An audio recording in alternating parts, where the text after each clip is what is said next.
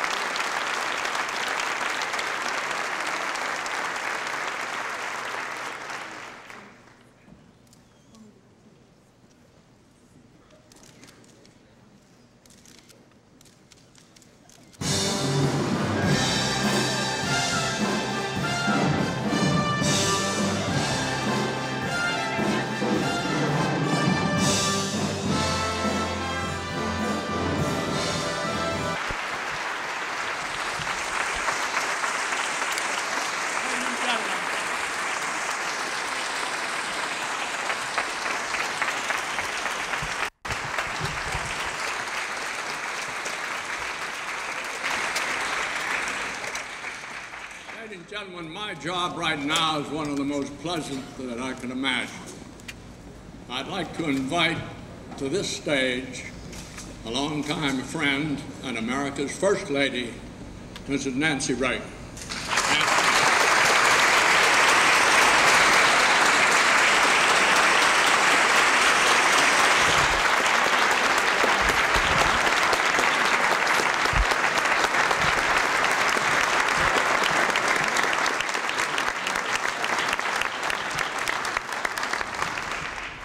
Thank you, Jimmy. Last year, you very kindly gave me an award, which I really didn't think I deserved because I, you gave it to me for something that I enjoyed doing for eight years. So this year, I'd like to give one to someone who really deserves it. You know, Grace Kelly in the movie The Country Girl said, There's nothing quite so mysterious and silent as a dark theater. And I would add, and nothing quite so sad. You'll notice that this theater is far from dark tonight. For more than 20 years, the light in this theater has been Frankie Hewitt.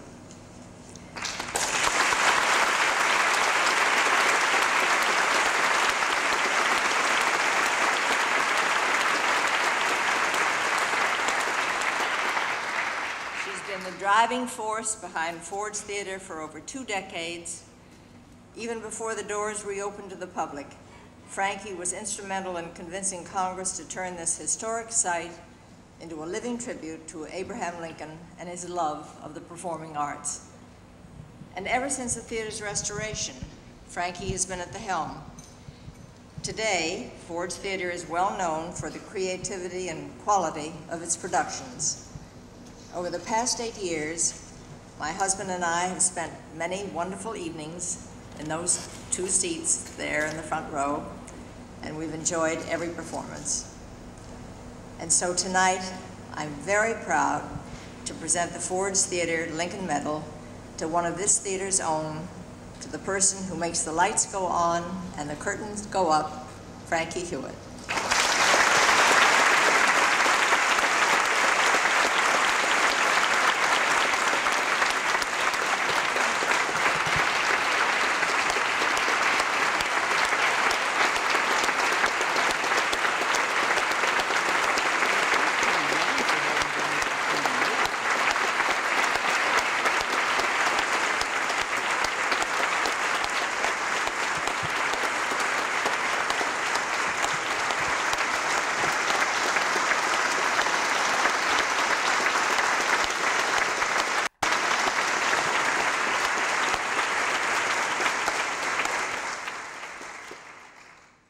I'm not used to being on this end the, the receiving end. I'm used to being on the giving end.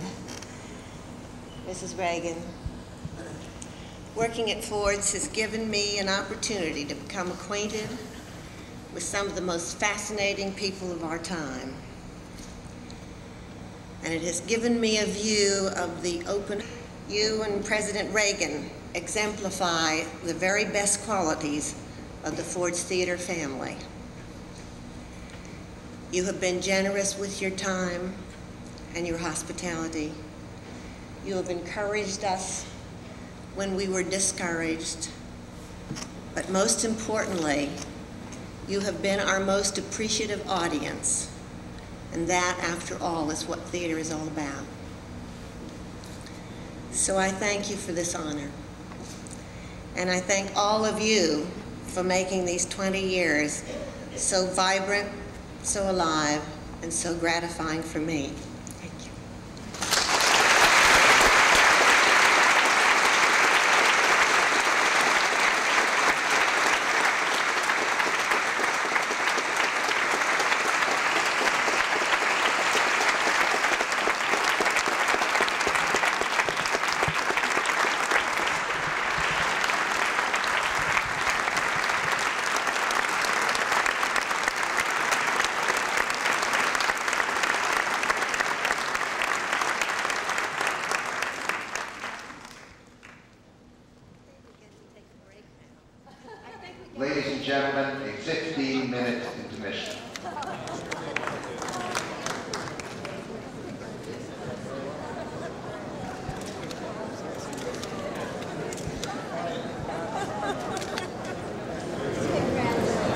Benefited from the regular attendance of these galas by the President and Mrs. Reagan. And for all of us who have appeared in these galas, and for all those theater goers, we thank you both. And we invite you both up on the stage with us.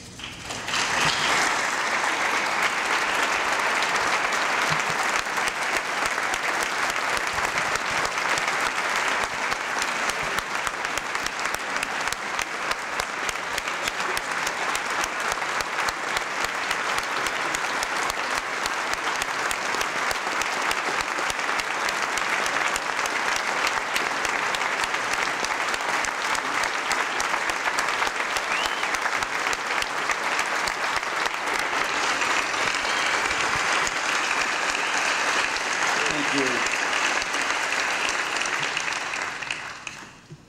Thank you, and, and thank you all.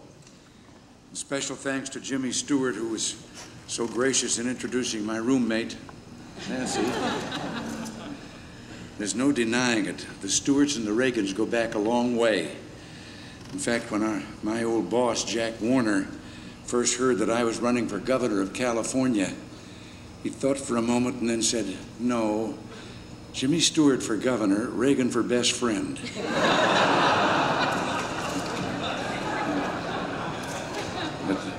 even that was an improvement over what Jack Warner's brother Harry said way back in the very old days. Somebody told him about that new technique that would make it possible to add soundtracks to motion pictures. Up until then, of course, there'd been nothing but silent movies. And Harry said, Who that wants to hear actors talk? but we're here tonight not to celebrate the movies, but the theater, Ford's Theater. This has been quite an evening. And on behalf of everyone here tonight, I want to express my gratitude to all those who've made it possible. Thanks go to the General Chairman, Betty Wright and Carol Laxalt, to the Chairman of this evening's gala, Mary Jane Wick, and to the executive producer of this evening's performance, Frankie Hewitt, to our hosts, Jane Seymour and Harry Hamlin, and yes, to this entire cast. It was 125 years ago this year that Ford's Theater first opened, as we've been told, and Washington in those days was, for the most part, a village, modest frame houses, dirt roads, chickens and livestock everywhere. The theatrical manager, John T. Ford, came here from Baltimore because he realized that Washington had a large natural audience, the thousands of Union troops quartered here with little to do. But Ford's Theater did much more than give the troops a way to fight off their boredom. It brought pleasure and refreshment into the heart of a city struggling with the Civil War. Think how uplifting it must have been to the people who crowded this theater in those dark days to be able to laugh, to be able to participate in an evening that lifted them out of themselves. His biographers tell us that Mr. Lincoln loved the theater, and nothing could have pleased him more than the performances that he saw here. Today, the village of Washington has become a great international city, even a center of culture and the arts. But the work of this splendid little theater remains unchanged to refresh, to uplift, and to give joy. And so, in supporting Ford's Theater, we're both helping to preserve a piece of our own history and to provide theater the highest standards for the audiences of today. May Ford's first 125 years be followed by 125 to come. I can't resist seeing all these splendid people up here entertaining us as they have tonight, giving away the only thing they have to sell.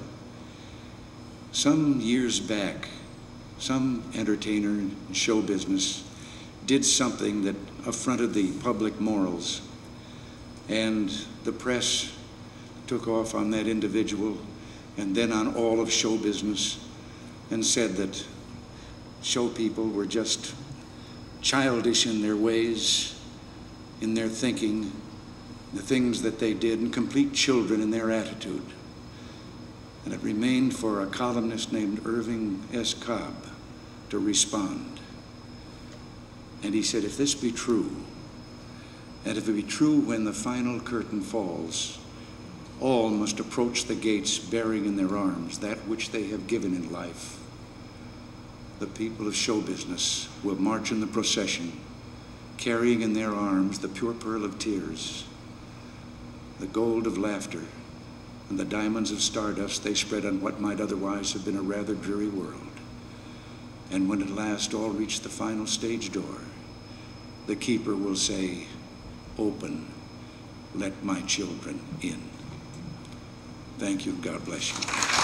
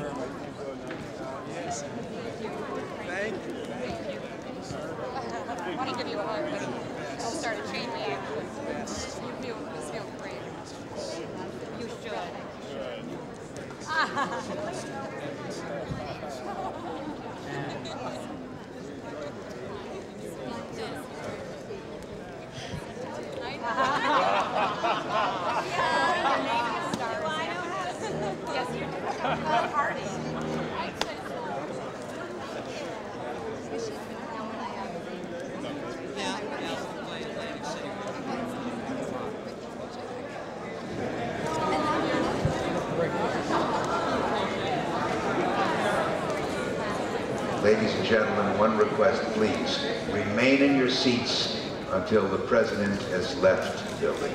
Please remain in your seats.